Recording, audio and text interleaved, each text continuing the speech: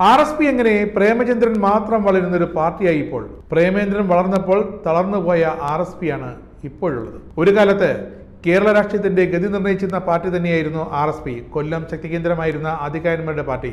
പാർട്ടിയുടെ ഉദയം ബംഗാളിലാണെങ്കിലും വേരൂന്നിയത് കൊല്ലത്തും. പല പിളർപ്പുകൾക്ക് ശേഷം ശക്തിശയിച്ച് ആർ എസ് പി ഇപ്പോൾ തളർന്നപ്പോൾ വളർന്ന ഒരാൾ മാത്രമേ ഉള്ളൂ സാക്ഷാൽ N K Premachandran.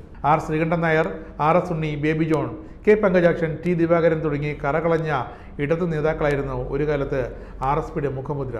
എന്നാൽ ഇന്ന് ആർ എസ് പി എന്നാൽ പ്രേമചന്ദ്രനും പ്രേമചന്ദ്രന്റെ നിഴലായി ഷിബു ബേബി ജോണുമാണ്. പഴയകാല നേതാക്കൾ പാർട്ടിയെ വളർത്തിയപ്പോൾ പ്രേമചന്ദ്രൻ സ്വന്തമായി മാത്രം വളർന്നു. അണികളുമായി ബന്ധമില്ലാത്ത എൽ ഡി എഫിൽ നിന്നപ്പോൾ അവരുടെയും യു ഡി എഫിലെത്തിയപ്പോൾ അവരുടെയും പ്രവർത്തകർ ചോരനീരാക്കി പ്രേമേന്ദ്രനെ നിയമസഭയിലേക്കും പാർലമെന്റിലേക്കും അയച്ചു. ആർ എസ് പി കേരള രാഷ്ട്രീയ ഭൂപടത്തിൽ ഇപ്പോൾ എവിടെയെന്ന് ചോദിച്ചാൽ പാർട്ടിയുടെ കൂറുള്ള പ്രവർത്തകർ നിരാശരാകും. അവർക്ക് ചൂണ്ടിക്കാണിക്കാൻ പ്രേമേന്ദ്രൻ മാത്രം.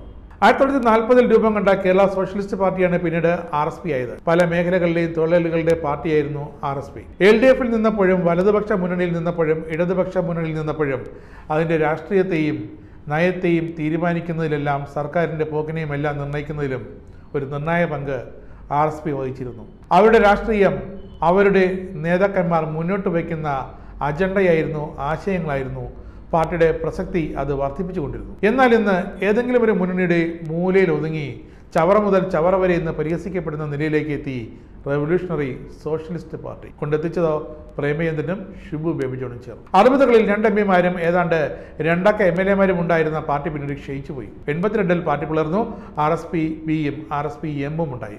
Shibu Baby John R S P ബിയും Babu Divakaran R S P എമ്മുമായി മാറി. പ്രേമചന്ദ്രന് എൽ ഡി എഫ് സീറ്റ് ലഭിച്ചില്ല എന്ന പേരിൽ രണ്ടായിരത്തി പതിനാല് ആ ലോക്സഭാ തെരഞ്ഞെടുപ്പ് സമയത്ത് ആർ എസ് പി കോൺഗ്രസിന്റെ കൈപിടിച്ച് യു ഡി എഫിലേക്ക് എത്തി. അതുവരെ എൽ ഡി എഫ് പ്രവർത്തകർ ജയിപ്പിച്ചു കൊണ്ടിരുന്ന പ്രേമചന്ദ്രൻ ആ തെരഞ്ഞെടുപ്പിൽ കോൺഗ്രസ് പ്രവർത്തകരുടെ അധ്വാനത്താൽ ജയിച്ചു. അങ്ങനെ പറഞ്ഞു മതിയാകും. എന്നാൽ പിന്നീട് നടന്ന ത്രിതല പഞ്ചായത്ത് തിരഞ്ഞെടുപ്പിൽ പാർട്ടി തോറ്റു തുന്നം പാടി. ഒരു കാലത്ത് പ്രേമചന്ദ്രന്റെ വലം കൈയായിരുന്ന കോവൂർ കുഞ്ഞുമോൻ സ്വന്തം പാർട്ടി ഉണ്ടാക്കി രക്ഷപ്പെട്ടു. ആർ എസ് ഉണ്ണിയുടെ ഭവനത്തിൽ നിന്നും അദ്ദേഹത്തിന്റെ കൊച്ചുമക്കളെ ഇറക്കി വിടുന്ന ഒരവസ്ഥയിലും പ്രേമചന്ദ്രൻ ഒന്നും കണ്ടില്ല എന്ന് നടിച്ചു. ഈ പ്രേമചന്ദ്രൻ ആർ എസ് പിക്ക് വേണ്ടി എന്താണ് ചെയ്തിട്ടുള്ളത് എന്നാണെന്ന് ചവറ മുതൽ ചവറ വരെയുള്ള ചോദ്യം.